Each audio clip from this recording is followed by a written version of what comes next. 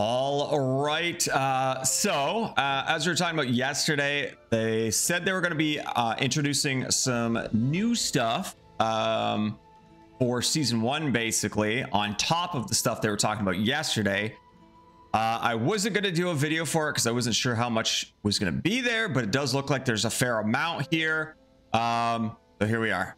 Uh, we're going to look over the, uh, what are they calling it here? Uh, the season one roadmap plus development philosophy. Uh, hi everyone. In yesterday's announcement, we introduced a large or a lot of changes as well as the design philosophy for preseason before the storm. Today we want to share some of our thoughts so we can discuss the upcoming changes for season one DB Reforged. I hope they don't call it DB Reforged. I hope that's just short for Dungeonborne and they're just going to call it Dungeonborne. Uh, so without further ado, let's get into it part one uh seasonal realm and eternal realm. Uh, when season one starts the eternal realm will be available and all your progress in season zero will be preserved. At the same time a seasonal realm will also be opened give everyone a fresh start. However the vast majority of new content will only be available in the seasonal realm and the game modes in the eternal realm will rotate to reduce the total amount of queues uh, the this seasonal system is similar to common industrial practices such as Diablo or Path of Exile. We're also considering we're also considering to plan some game modes in the middle and late stage of this of the season that allows characters from the Eternal Realm and Season Realm to play together. Interesting. Okay, so yeah, basically for anybody that hasn't played like Diablo or PoE or anything with the seasonal thing, um, basically the eternal realm you're gonna have a permanent server we'll call uh and that's the Eter eternal realm right? So i don't know how they're going to transfer everything if i assume they're going to transfer things but basically you're going to have this one permanent server that is there forever or at least for the life of the game. Um and if you make a character there they will let's say you max level at 20 or whatever with a, a rogue that rogue will always be available to you. You'll always be able to play there. All the loot you get will is permanent. All that stuff will be there. When a season starts, it's a temporary server. So you're going to play on the season. You're going to get, as they said, most of the new stuff is going to be in these seasons, which is pretty typical for a season type system. Um, you'll be able to basically play a new character. You'll have to start fresh. You'll start a new character go through that season. Once that season ends, typically what happens is it takes your character, all your loot, everything, and transfers back uh, transfers back to the Eternal Realm. So now you'll have a second character in the Eternal Realm, plus all the loot that comes over from that season. Again, I don't know how they're going to do it. I don't know if they're going to send it all in a uh, in a mail or if they're going to give you like a temporary stash tab with all the, the loot, that kind of stuff. I don't know how they're going to do it, but that's like typically how it goes. Uh, and then season two comes around and then you do season two. It's a brand new character, brand new servers, do all that, rinse, repeat. Um, basically it gives people a reason to start over. But if you don't want to start over and you want to just keep playing, um, you're to have the eternal realm, right? Now keep in mind with the eternal realm, there's not going to be any resets or wipes or anything like that. So it's just going to be like, you're going to be going to get up against people as well that are just like not getting wiped. They're going to have all their gear, all that stuff, um, and be able to build up millions and millions of gold, billions even. So that's basically how that's going to work. Uh, part two, pet system. You heard it right. A pet system that all classes can try out that's not uh, primarily designed for combat. What does it mean by all classes can try out? Um, your pet will have a special inventory that can hold loot. Uh, each game, you will have an opportunity to command your pet to carry this loot and extract early. This inventory can be upgraded and expanded through investments by playing. Get bigger saddlebags for your pet otter or something. Um, Shit, I lost my spot. Uh, will be expanded through uh, through playing, and eventually your loyal pet will take on the important task of extracting the most valuable loot for you. Uh, So that's good. You're going to be able to upgrade and expand it through playing. Um, so I mean, now I've been giving these guys shit lately. Not that I'm like, not that I care a ton if you like copy something from another game, as long as you like do your own thing with it and and kind of expand on it, make it better, whatever. Not just straight up copy it. Uh, I've been giving them shit for some of that, but this is it's, it's something, right? They're expanding on the secure container. It's now a secure pet, I guess. I'm curious how it'll work. Like, you just load all your good shit into this pet, click go home, and then just poofs. Uh, I don't know how that's gonna work. I don't know if it's gonna be like your pet opens up a portal and you gotta sit and protect your pet for 30 seconds or something while it channels this portal. I don't know. I don't know how that's gonna work. Um, I, I can see it being bad at the same time too, right? Um, you get somebody that loots like crazy, runs to the edge of the map and just sends their pet home, and then they have no risk anymore, and they can just go towards the uh, the center of the map to do their own extract, right? I'm, I'm curious how that's going to be. Um, we hope that the pet system can implement the classic safe container design in extraction games in a way that is more in line with DB's fantasy world to ensure that all players have a guaranteed way to extract loot every game and win if they die. We also hope that everyone will be uh, more willing to take more risks because of this guaranteed mechanic. Uh, it's worth mentioning that the pet system will not be an exclusive system for paying users, and players will be able to participate. All players will be able to participate in it, so that's good. Um, not uh, well, fuck Arena Breakout and their bullshit. But looking at Tarkov, obviously you have to buy the game to begin with, but everybody gets access to a secure container in Tarkov. Um, obviously, people that pay more money have a bigger secure container, which can be significant those few extra spots can be significant, but this is nice. I'm curious. They say it's going to be available for everybody and that you can upgrade through playing and stuff like that. But I'm I'm curious if they're going to going to try and do something. I mean, I guess the monetization side of it is they just charge for different pets, right? You get a, a lizard or a bat or a dog or a whatever. And that's where they would make their money on it. Um, basically everybody has a secure container, but you upgrade it with a skin um, and change it that way. Uh, I hope that is the direction they go. I think that's uh, would be the more ideal one, and I think they would. I I would spend money if there's like some cool skins and stuff for it. Um, whereas if they were just kind of scumming it and only giving it to people that paid money for the actual secure container system, I probably wouldn't. Um, and that's why I said fuck Arena Breakout. Left that dog shit game behind.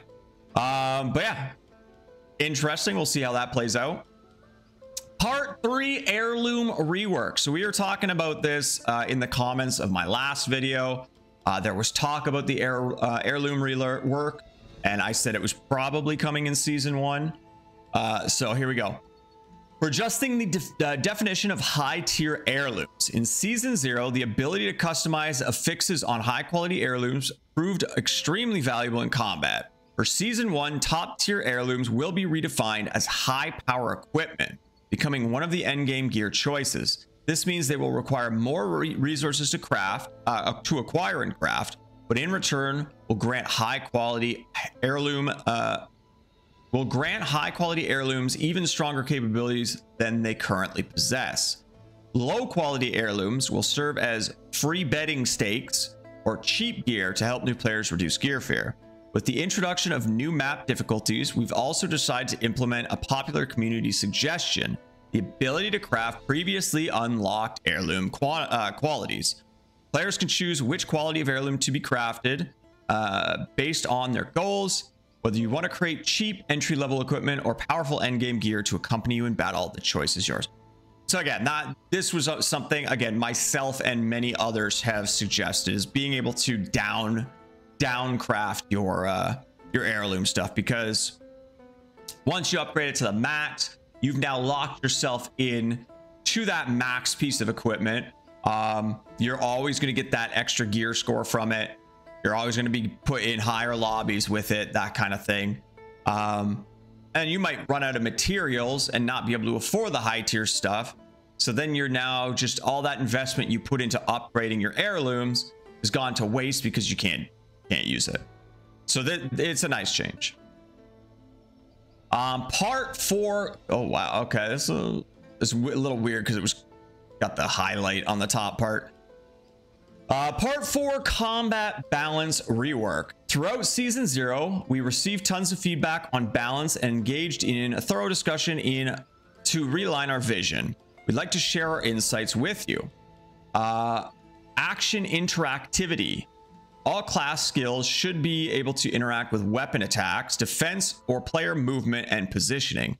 This, this ensures that melee versus range combat doesn't feel disconnected, and that all skills slash spells have counterplay options. The recent rework of the Cryo's Frostbite Curse is a good starting point, although Cryo's stats are a bit lower after the adjustment. We'll continue making adjustments in this direction, so stay tuned.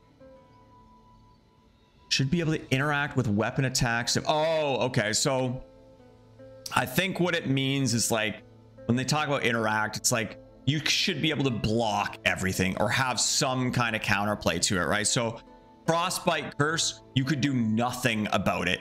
They looked at you, they clicked the button, it was on you. That was it. You couldn't block it, you couldn't nothing. Um, so it sounds like they're working uh, working towards that.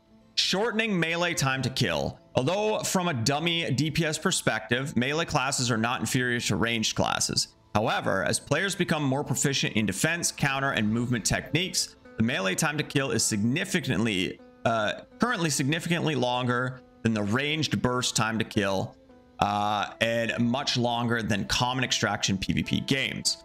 The longer melee time to kill leads to fewer surprises, amplifies differences in play, uh, play skill and equipment power, and makes it more difficult to win with fewer number numbers or weaker power, ultimately discouraging players from taking risks.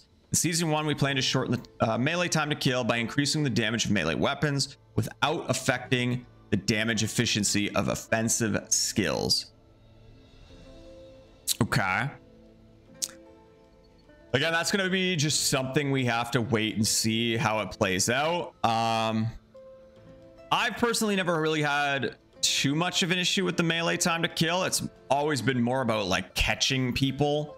Uh, again, I, I mostly play fighter DK.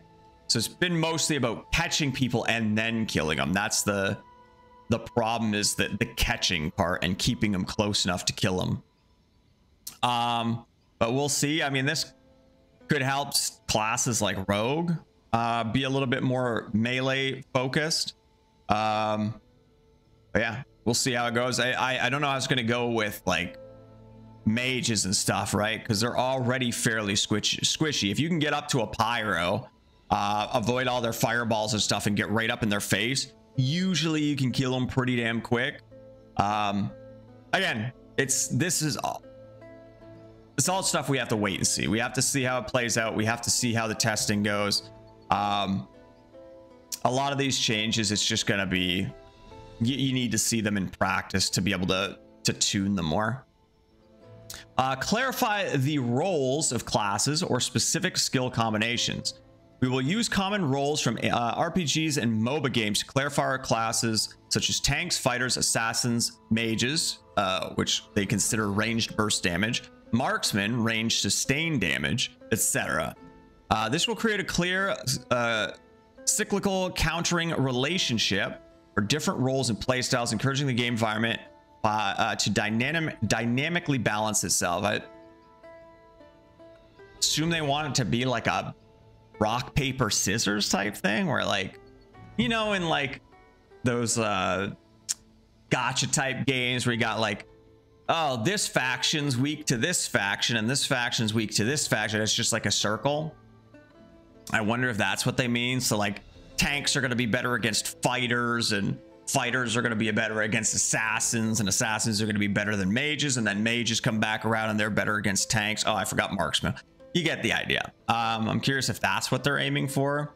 I don't know how that's going to play out, but we'll see. For example, we want the Death Knight to be a frontline initiator, but we haven't given them enough tank capabilities. On the other hand, the pre-nerf Cryomancer through uh, Ice Barrier healing, uh, Ice Barrier healing, Frostbite Curse healing, Life on Hit healing, and Fairy of the Lake Shield had the abilities of two class roles simultaneously, range sustain damage plus tank, causing his power to overperform and making it impossible to counter. Okay, so that mean we're we're getting more cryo nerfs. So it sounds like I mean the thing is is like I'm not against classes having multiple um roles, right? Like a DK being like a tank and a damage dealer. Um mages being I don't know, range damage and I don't know. I'm not opposed to having two different roles within a class, but it's when one uh, one class has all those roles and the other classes only have one. That's where it becomes an issue. But again, we'll see. Um, they they seem to want to make very specific and defined rules here. Uh, the balanced content discussed above is still under active development and internal testing. Season one launches. Expect a comprehensive round of adjustments and refinement based on our findings. Stay tuned for more updates. Again, like I said, you need to do mass testing even. Uh, internal testing is only going to get so far. You're only going to have a limited view window in with internal testing. Um, you, you need that massive testing uh, to really kind of hone in. So hopefully they're they're in tune with that. Part five: Monsters Rework. Currently, regular monsters in the game provide a fairly basic and one-dimensional combat experience. Players essentially trade time or health to acquire resources. In Season 1, we aim to introduce more engaging and varied mechanics that go beyond simple combat. Um, for instance, some regular monsters will be tuned to be incredibly easy to kill, uh, but disturbing them may greatly increase your risk of being detected and exposing your position. Other monsters might possess high frequency self-healing abilities, requiring players to quickly end the battle through burst damage or heavy hitting mechanics. Uh, to core to enhance the core combat experience, we plan to allow certain monsters to use character class skills and even boss abilities. Hmm. Um, this will give new players a chance to gradually learn and adapt to skill-based counterplay during PvE, preparing them for challenging PV, uh, PvP combat and boss fights. Okay, before we go any further, what would actually be really cool is I don't I don't know how well it would work in this type of game, but I've always thought this would be super cool for like RPGs and stuff. But having like rival a rival group, right? Like think about Baldur's Gate or something like that. You're roaming around in your party of four or whatever. Is it four or is it five or is it six? God, I don't remember. Either way, let's say you're roaming around your party of four, right? You run into another party of four, another party of four that's out there doing their quests and shit, another adventurer group. I think that would be kind of cool. So they're talking about um, having certain monsters use character class skills and stuff. Um, even something like um like I guess it's a mimic, but it's not. Like think about the mimic from um Elden Ring. It straight up just copies you. Imagine you run into something like that that like copies you and you have to fight yourself basically. Something like that would be pretty cool. Um, but also just like running into random like AI rogues or mages or whatever um, other adventurers out there that aren't necessary. The problem there is it starts getting too close to just adding bots to the game, right? Nobody likes that. Nobody likes that in BRs. Nobody likes nobody wants to play against bots. Let's well, okay, some people might, but I I think the mimic idea would be a little bit cooler. Where it's like this special monster that kind of basically clones you. Um, yeah, I think I think if you ran into like AI classes out there, it'd just be a little bit too much like running into the bots. Anyway, I'm curious to see what they do with that. Uh, elite monsters and bosses currently present a high risk, high learning curve challenge, but once mastered, they can feel repetitive and lack compelling reasons to re engage. Uh, moreover, their design often fails to properly account for ranged DPS characters, leading to significant disparity in clear times and difficulty between melee and ranged classes. This in turn results in a more conservative, drawn out, and boring bossing experience. Yeah, I mean, especially like elite monsters. I think the bosses are a little tougher, except maybe Cyclops. Like once you know Cyclops move set, you might get caught every once in a while on some like desync or jank or something like that. But Cyclops is pro- uh, most likely the easiest boss, and honestly might be easier than some of the some of the elites, like the the uh, Reaper. Fuck that guy, he's too scary for me. Um, but yeah, like there's so many ways you can like cheese bosses where they can't even touch you, and I, I hope they kind of find ways to uh, to deal with that. Um, where are we? Drawing inspiration from games like Monster Hunter, we intend to address these shortcomings through better stage design and mechanics that equalize the damage windows for melee and ranged characters. Players will be able to capitalize on these damage windows and potentially extend them by exploiting skillful or employing skillful and action-oriented counterplay. The goal is to create a more dynamic, comfortable time to kill and an overall more engaging progressive combat experience that encourages mastery and replayability. These adjustments and refinements will be an ongoing process through season one as we gather data and player feedback. Okay, I'm gonna. Okay, so I've been giving these guys a hard time lately, but like it, this, this is what we want from them. It, well, I can't speak for everybody, but this is the stuff I want from them. I want this thoughtful, like insight into what they're thinking. I want to know that they're they're thinking about all this stuff. This stuff, this is fucking fantastic shit. All this stuff is great. Um, this is just the stuff they need to be doing and keeping up with, more importantly. They could have had this stuff for the past month or two, and they've just been holding it back from us, and we don't know, and we just think they're fucking over there with their dick in the wind. Um, this is the stuff we need from them. More of this stuff. Part wait, I need a drink. Hold on, man. This is a lot. Like I've been reading a lot these last couple days.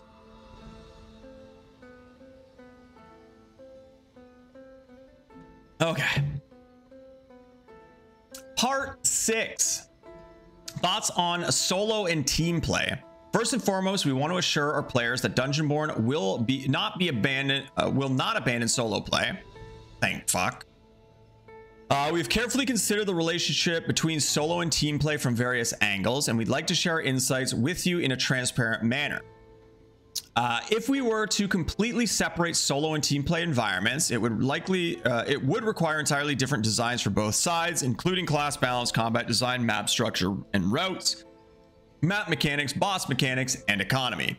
Our class balance adjustments based on solo balance would inevitably fail uh, to ensure a satisfying team play experience, and the introduction of collaborative map mechanics would not translate well to solo play. Take class design as an example. Dungeonborne's class skills are largely inspired by League and WoW, where combat balance has always been designed around team play. Neither of these games offer solo play as their official or main game mode. However, when we look at successful extraction games in the industry, they usually allow solo and trio players to share the same stage, uh, and solo players can find still find enjoyment. Dungeonborne experimented with mixed team matchmaking during the early playtest, but the experience was not good at all so what exactly is Dungeonborne missing or where do we go wrong that caused our mixed team matchmaking to be unfriendly to solo players? Wait, is that a, are they asking us or are they about to tell us? Um, that caused our mixed team matchmaking to be unfriendly to solo players. I'm not sure. Was there like a, oh, maybe it was the challenger mode they're talking about? It's the only thing I can think of. Or are they talking about like randomly queuing? Because I can tell you right now, if they're talking about like a random, it's just like uh, Klothos's trial and just the, the 3v3 in general. No, no communication at all. Not even text chat. Um, and, and yeah, no VoIP to be able to talk to your teammates. That's the huge first step. So I don't know if that's what they're talking about, but we'll see here. Uh, but I understand. I understand that it's very difficult. Their main focus, it's just like Apex Legends, right? Their main focus is threes. Um, three man teams. Solo really isn't a thing because of the the balance issues, right? You it, look at look at uh, priests for example. Uh, is that what I keep forgetting if they're clerics or priests? Priests. Um, priests are pretty dog shit in solos, but are like ridiculous in threes. Um, so I, I understand it. I understand that there's going to be those issues where it's just it's impossible to be able to perfectly balance every single class for both trios and solos. Um, so, so I mean, I get it. Um, I, I get it. Uh, PvP time to kill and combat range. Dungeonborne's time to kill, especially for melee, is significantly longer than in shooter games, making it extremely difficult to fight against multiple opponents. 100%. You look at something like Tarkov, when you're going up against a, a group of five, it's still difficult, but it's a lot more doable because you can one tap somebody in the face, quickly one tap two people in the face, and now it's down to a three on one already, right? Um, there's a lot more. Uh, there's a, the ability to put reposition and stuff a lot more in something like Tarkov as well. So that I, I can definitely understand. Um, melee characters also have short range and are in danger once engaged in combat. Yeah, it's it's like you can't sit at range and like trade shots and stuff and reposition easy. Once you're in it, you're in it as a melee character. Um, PvE, TTK, number of mobs, and mob positioning. In Hunt Showdown, for example, there are fewer mobs and the uh, kill time is within two seconds. Players spend more time scouting, planning routes, and avoiding env uh, environmental creatures like crows that could expose their position compared to Dungeonborne's current state. This significantly reduces the difference in advanced speed between solo and trio uh, trio teams. Very true too. I, I don't have a ton of time in Hunt Showdown, but I've got a few hundred hours probably. And yeah, it's it's definitely a lot slower paced. You're you're trying not to like spook the crows and stuff like that. And if you do, it gives other people a heads up that you're coming. There's not really anything like that in Dungeonborne. Um, so you kind of just there's like minor things like you can read situations if no and know if somebody's around like if there's a dead mob somewhere or if they're like pathing back to where they're supposed to be you can tell somebody has just gone through there there's ways but they're not like super pronounced ways. Um, environmental complexity and ease of information gathering. The core resource uh, areas in shooter extraction games are often designed as buildings with more complex terrain making it harder to gather information. However, Dungeonborne's level design makes it easier to obtain uh, information, uh, and the abundance of monster corpses can expose a player's previous route. I mean, it, that's kind of the same with uh, with Tarkov too. But again, there's not as many. There's not like a million scavs around, but like you can go through a place and you find a dead scav, you know somebody's been there. Um, there's also the fact that you can hear gunshots a lot further than you're going to be able to hear somebody swinging a sword usually. Um, poison circle and random portal extraction. The poison circle forces solo and trio players to confront each other directly rather than allowing uh, solo players to choose, choose whether to challenge teams with more players. Um, lack of guaranteed profit measures. In Dungeonborne, not only is it difficult to fight against multiple opponents as a solo, but losing means a complete loss. Even if you acquire valuable items, you may not be able to escape in the end. Very true.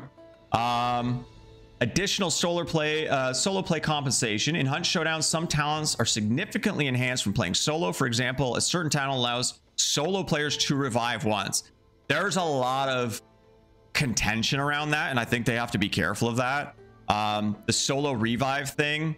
Um, in Hunt Showdown, you can burn a body, right? So if you kill a solo, typically you're going to go throw a torch or something on them to try and uh, to burn the corpse so they can't revive. But even while they're burning, you got to sit there and wait for them to burn because um, you can still revive while you're burning. Uh, but yeah, if they're going for something like that, they're going to have to be careful.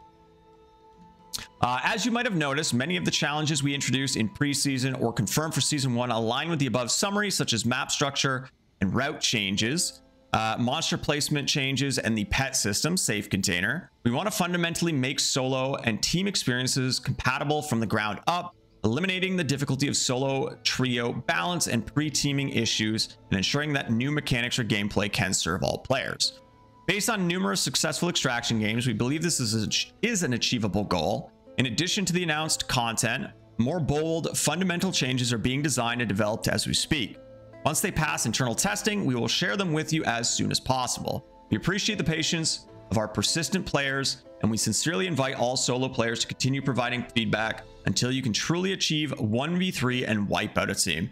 That's going to be, that's going to take a lot of work in a game like this, that's going to take a lot of work. Um, a lot of work, a lot of testing. We'll, we'll see how that plays out. Part seven, closing words. Lastly, lastly, we want to take a moment to thank all our players who have supported us and believed in our vision for Dungeonborne. Your feedback, both positive and negative, have been invaluable in shaping the game's direction. We're committing to, uh, committed to creating a unique and thrilling experience that stays true to the core of extraction gameplay, Dungeonborne is more than just a game to us, it's a passion project that we're pouring our hearts into. As we move forward with the preseason, as season one and beyond, we're excited to bring you new content, features, overhauls, and improvements. We firmly believe in the potential of Dungeonborne and the community is found, uh, that is formed around it.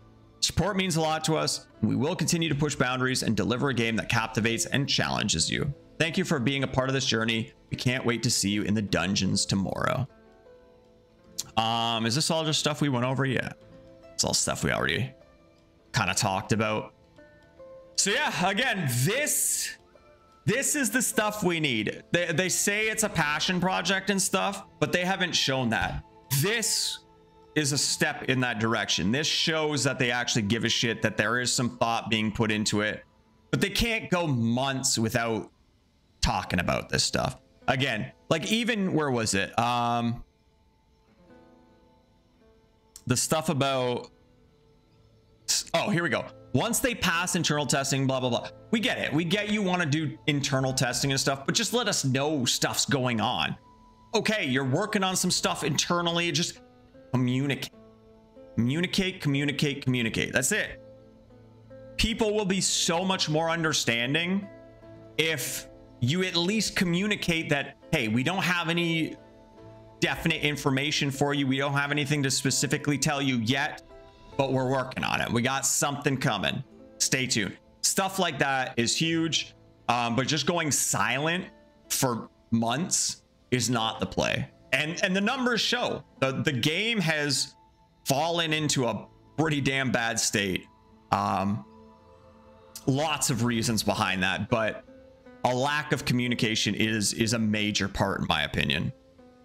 Um, but yeah, good stuff here. Um, much more inspiring than than the stuff back here. Uh, like, this stuff was okay, but again, I think this all the stuff we talked about yesterday was stuff that we needed a long time ago to be talked about, and now it's not really that exciting. But that stuff combined with all this stuff now, it's it's a lot more inspiring that they're they're thinking more and they're working on more stuff. Um, much better this time around much much better um but yeah we've been going for a while. We've been oh, it's only a this is one of our shorter videos. Only about 30 33 minutes or so. Uh but yeah some good stuff there. Um i don't think there's really anything else i want to talk about. Uh yeah i think that's good. Um i'll probably check things out tomorrow uh, on stream and see see how the game feels with the uh, the season whatever zero before the storm stuff. Probably check that out tomorrow. Uh, but yeah, I'm gonna go get ready for my grandma's birthday. Go go celebrate and stuff. Uh, but yeah, thank you all so very much for watching. You all have a good rest of your days, and I will catch you all next time.